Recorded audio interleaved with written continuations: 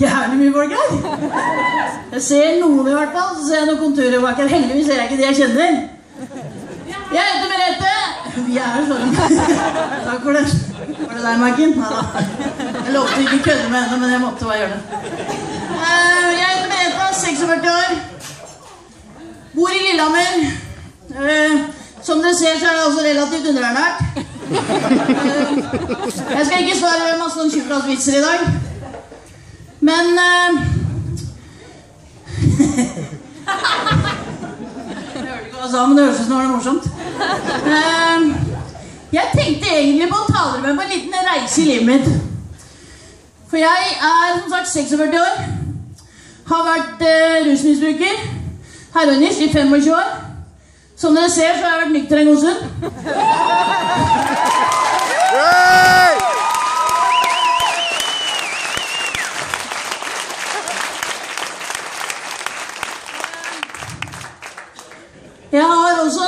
Byens råeste lårmuskler. Etter å ha stått i sånn Kongsberg-knekk nede i byen her i morgen. Så jeg tenkte egentlig at jeg skulle harselere litt med min egen bakgrunn. Ah, Billige poeng. Eh, Når jeg slutta å ruse meg, så er det mange her som har hatt kjærlighetssorg. Ja, jøss, vær ærlig, ja. Jeg hadde kjærlighetssorg til dop, da. Og eh, den løste jeg med å mure meg litt sånn inne. Fant en sånn god plass i sofaen. Og så på alt som var av søppelet på TV. Og drakk cola. Litervis med cola. Og mikropopkorn. Og jeg så på Pantelånerne. Nei, dere har sett det sjøl, vet du. Uh, Ullaren. Nattpatruljen. Hundepatruljen. Uh, og Dr. Phil. Uh, og jeg virkelig fordypa meg i søppelet på TV-en. Uh, så kom jeg til et sånt punkt hvor jeg Klærne passa ikke mer, og faen så svær jeg har blitt. Så tenkte jeg at jeg måtte gjøre noe. Så sa jeg til meg sjøl litt sånn Fy faen, hvis det er sånn det er å være nykter, så var ikke det så jævlig mye å skryte av. Eh, så du vet, når du har levd det livet jeg har levd, da, så skal du ut i samfunnet igjen. Så er det litt sånn derre Ja, jeg har ikke så innmari innholdsrik CV akkurat, da. Jeg jobba som dørvakt i fem år. På slutten av 80-tallet og 90-tallet. Men jeg jobba jo svart, selvfølgelig. Ehm, og så har jeg vært selvstendig næringsdrivende i mange år. Ehm,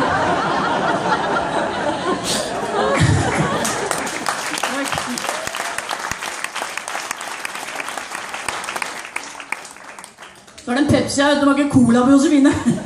Ja.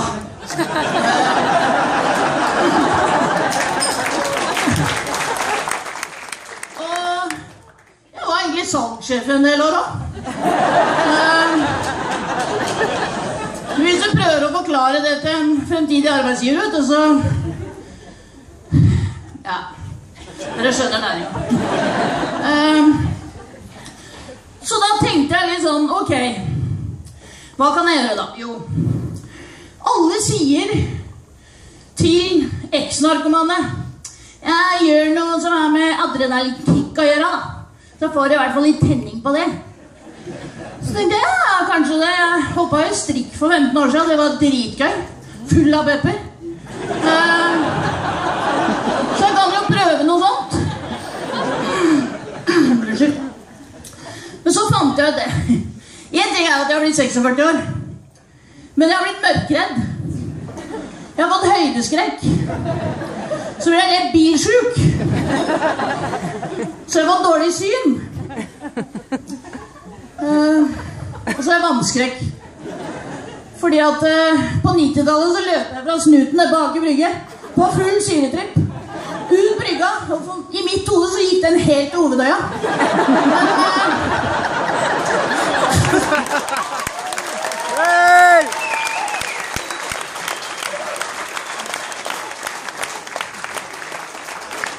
Men, eh, Ble vet du. Og tror du politiet hjalp meg? De andre jeg var sammen med, sa det at nei, politiet sto på brygga sånn Nei, kommer av da. Så sånn med håndjerna. Så jeg tror det er der vannskrekken kommer fra. Um, men ehm, Har dere det bra, eller? Ja!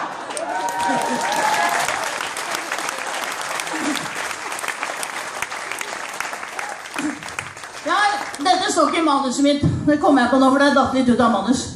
Uh, jeg var og klippte meg i går. Ser det bra ut? Ja. Eh, og du veit at på sånne litt gode og runde som meg, så er det alltid noen som skal komme med litt sånne ja, velmenende ord, da. Så var jeg også en veldig, veldig søt og hyggelig ung frøken. Kunne sikkert vært bestemora hennes. På Ada Maiva i går. Og så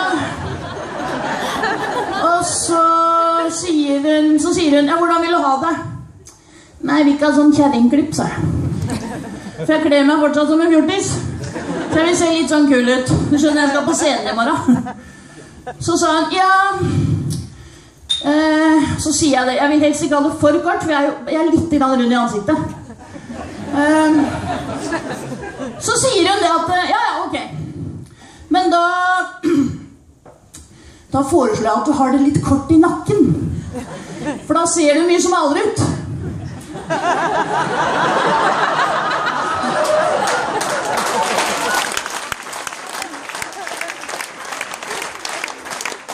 Så jeg tenkte jeg kunne gjøre et lite eksperiment med deres hjelp. Hvis jeg snur meg bort nå, så kan, kan vi se om det funker. Vent litt nå. Sånn. Borte. Funka ikke Det gjør ikke det, vet du. Men hun var søt, da. Men eh, Nei da. Fra spøk til alvor. Jeg har en liten huskelapp, selv om jeg ble tipsa om å Nei, ikke se på huskelappen. Jo, når jeg ser på huskelappen. uh, jeg ha briller først. vet du.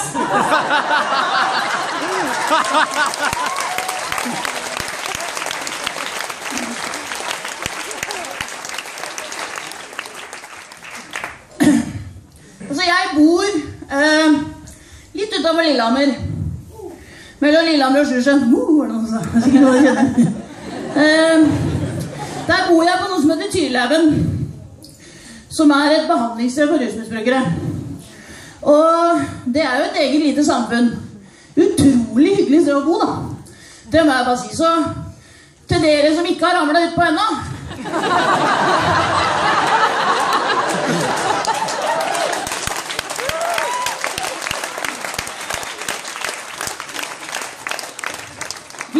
Skjer, så kan dere ringe inntakskontoret til Lilly. Ehm, jeg hadde en liten artig opplevelse her i stad, fordi at uh, i den bransjen jeg er i, så må vi ofte ta urinprøver. Uh, og det er et eller annet med det å sitte på do med, med koppen her, da. Så skal du prøve å treffe, og så står det noen der. her. Og så står det noen i døråpningen. Og så skulle jeg på do her i stad. Så plutselig tar jeg med at jeg lot døra stå åpen, så venta jeg at noen skulle komme. Men det kom ingen. vet Men eh, eh, Jo, så jeg slutta å røyke. Jeg har gått over til elsigg. Eh, artig historie om det, egentlig. fordi det, det er en sånn nettside og å selge nikotinbasert olje i Norge, da, så jeg bestiller fra England. Og jeg har sånn blanding av Red Bull og ikke vodka, men nikotin, vanlig nikotinolje. Og eh, nå har de fått med marihuanasmak. Det er bøff, altså.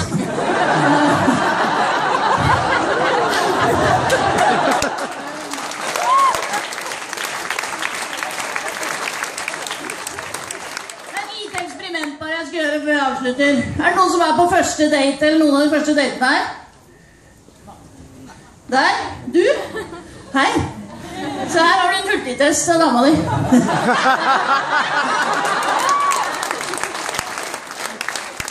Siste ord. Husk at den som alltid går i motbakker, får til slutt jævlig god utsikt. Takk for meg.